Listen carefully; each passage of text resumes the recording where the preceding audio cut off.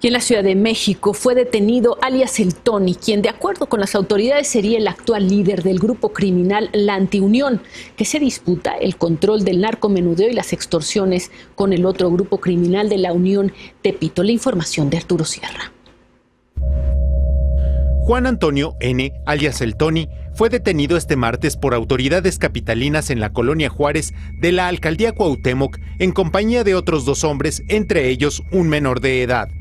El Tony habría asumido el liderazgo de la fuerza antiunión tras la detención de Jorge Miguel N., alias El Cabezas, el pasado 17 de octubre.